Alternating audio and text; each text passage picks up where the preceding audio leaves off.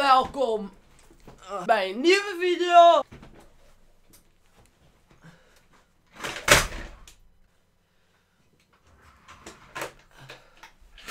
Mijn stoel is kapot. Nee. Normaal blijft je stoel zo staan op een hoogte dat je zelf kan instellen.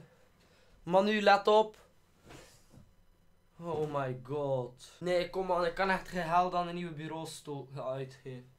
Nee. Oké, dus net is mijn bureaustoel afgebroken. Ik zit nu misschien 10 centimeter van de grond. Dit is echt fucked up. Ik zou zeggen, doe zeker duimpje omhoog bij de zoveel likes. Uh, ja, gewoon doe duimpje omhoog. Fucking duimpje omhoog. Altijd nice. Ik ben zit en ik zou zeggen, ja, deze video gaat over uh, zuipen, drinken, uh, coma zuipen. Let's go. Like, reclame voor naar Oké, nou ja, let's go.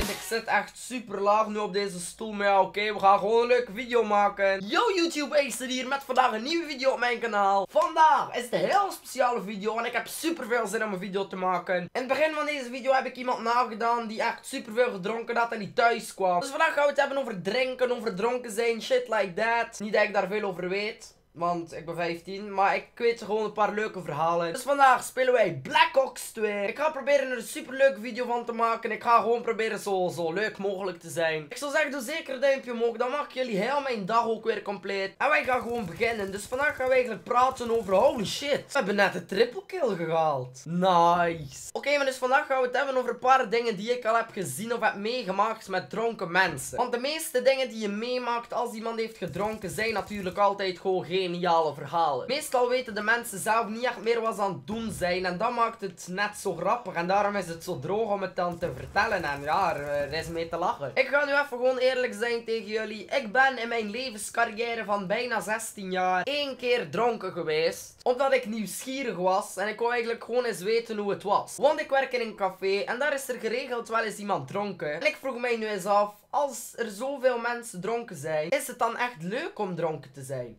Is het dan echt een meerwaarde om te drinken en om helemaal los te gaan, dan om gewoon rustig te blijven bij colaatjes. Die avond was zonder bluff de slechtste avond van mijn leven. En ik heb meteen daarna ook gezegd tegen mezelf, ik ga nooit, maar dan ook nooit meer zo drinken. Ik ga nooit meer zo, zo, zo erover gaan. Maar oké, genoeg over mij. Ik heb jullie gezegd, het gaat nooit meer gebeuren. Ik ben geen alcoholieker. Ik wou gewoon eens weten hoe het was. Ik was, ja, ik was nieuwsgierig. En het gaat nooit meer gebeuren, want het was het kutste wat ik ooit heb meegemaakt op, ja, op, ehm, ja, op het vlak van kutte dingen. Maar nu dus over het onderwerp zelf. Dronken mensen. Wat heb ik al allemaal gezien van dronken mensen? In het café bij ons zijn er soms mensen zo dronken dat ze, ja, de, de, de randomste dingen doen. Eén keer ging er een vrouw naar beneden omdat ze naar het toilet moest. Wat eigenlijk gewoon volkomen normaal is. Maar ik was op dat moment ook beneden aan het kuisen in het magazijn. Ik stond daar dus gewoon vrolijk op mijn gemakje het magazijn te dweilen zie ik daar opeens een mevrouw van de trap komen die niet echt zo recht liep. Ik dacht zo in mezelf van, what's happening right there? Dus ik zo vriendelijk als ik ben, ik heb gewoon, ja, ik ben gewoon eens gaan kijken. Ik kwam uit het magazijn en ik dacht meteen, holy shit, waar is die mevrouw? Want ik zag haar niet. Toen ben ik gewoon eens in de vrouwenwc gegaan om te gaan kijken. Guy is dood. Oh my god.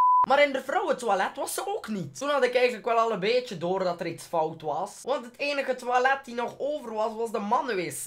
En het is nu niet echt alledaags dat er een vrouw in de mannenwc gaat. Al ben je fucking dronken. Maar ja, oké, die optie was natuurlijk niet uitgesloten. En ik heb gewoon eens de mannentoiletten open gedaan en ben daar binnen gegaan. Wat ik toen zag, was het raarste wat ik ooit heb gezien op het vlak van rare dingen zien. Die vrouw zat zonder broek aan in het mannentoilet. En met het mannentoilet bedoel ik dan de piscine. Ik weet niet of jullie in Nederland ook piscine zeggen, maar het is het, ding die aan de muur hangt waar eh, mannen hun uh, behoefte in kunnen doen. Misschien noemen jullie het het urinoir. Maar jullie weten wel waar ik het over heb. Zo'n ding die aan de muur hangt om in te plassen. Die vrouw zat daar met haar kont in. Kan je het je voorstellen? Iemand die in de urinoir zit. Iemand die in dat ding zit. Ik wou er een foto van nemen. Om dan ja, te kunnen bewijzen aan mensen dat het echt was. Maar dat heb ik niet gedaan. Want dan is een beetje. Ja, dat zou gewoon een beetje onrespectvol zijn tegenover die mevrouw. Dus ik heb er geen foto van genomen. Ik heb het wel opgeslaan in mijn hoofd. Als, uh, ja, weet ik veel, screenshots met mijn ogen. En het is wel een leuke herinnering om eens te vertellen. Zoals nu. Even gewoon random tussendoor. Ik wil jullie super hard bedanken. Want jongens, we hebben gewoon bijna de 10k mijlpaal gehaald. En dat is gewoon, ja, dat is super insane. Want 10k is niet iets wat je elke dag haalt. En ik kan jullie zeggen dat ik bij 10k een Draw My Life ga doen. Want dat heb ik eigenlijk al beloofd toen ik 1k had. In mijn 1k video heb ik gezegd dat als ik 10k zou hebben, dat ik een Draw My Life ga doen. En daar ga ik mij zeker aan houden. En ik ga zeker een Draw My Life maken. Want ik heb er eigenlijk echt gewoon super veel zin in. Dus jullie kunnen binnen de kortste dagen een Draw My Life uh, verwachten op mijn channel. Want uh, op dit moment heb ik nog 100 subs nodig. En dan heb ik de 10.000. Oké, maar om terug te komen naar het onderwerp. Ik wil niet dat jullie nu denken of zeggen of uh, ja, gewoon denken dat ik een alcoholieker ben. Want dat is zeker niet zo. Ik drink wel eens iets. Niet veel, maar ik drink wel eens iets. Nu ben ik gewoon eerlijk tegen jullie. Ik moet niet liegen. Ik, ja, ik drink wel eens iets van alcohol. Al ben ik nog geen 16. Maar ga slim om met alcohol. Het is, ik heb het geleerd. Dronken zijn is niet leuk. Leer je eigen grenzen kennen. Drink niet zoveel. En je kan een feestje ook gewoon leuk ervaren als je niet zoveel hebt gedronken. Ik denk dat dat de reden is dat ze in Nederland de alcoholwet op 18 hebben gezet. Waarschijnlijk in België binnen de kortste dagen of jaren gaan ze het ook op 18 zetten. En ja, binnenkort staat elk land dan gewoon op 18 voor alcohol. We doen nog een potje gun game, want dat doe ik ja, in elke video. En jullie vinden het wel leuk, denk ik. Dus let's go, potje gun game. We zitten op een 2 winstreak. Als ik nu kan winnen, holy shit, dan hebben we 3 winstreak. Oké jongens, we spelen opnieuw op hijacked. De vorige keer zijn we hier op gewonnen. Dus ik denk dat het wel mogelijk is om nu opnieuw te winnen. Dus ik zou zeggen... Let's kill this gun game.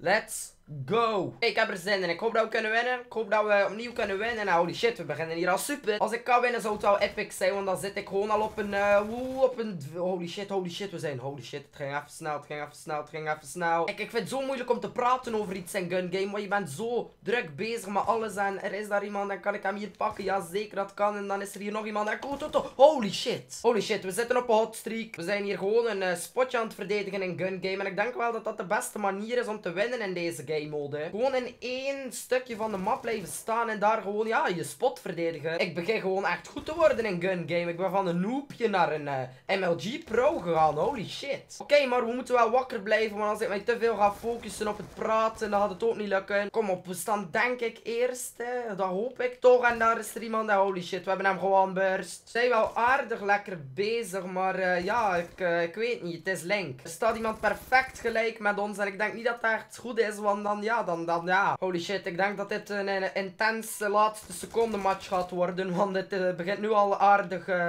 druk te worden. Uh, kom op SVUS, nice. Kom op, we moeten gewoon die DSR quickscope kill halen. De vorige keer hebben we het kunnen doen met een hardscope en nu hebben we een quickscope. What the fuck is er aan het gebeuren?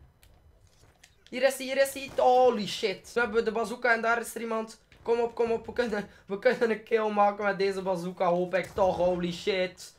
Er zit al iemand op 190. Dit is niet goed. Dit is niet goed. Ik herhaal niet goed. Oh my god, we zijn aan...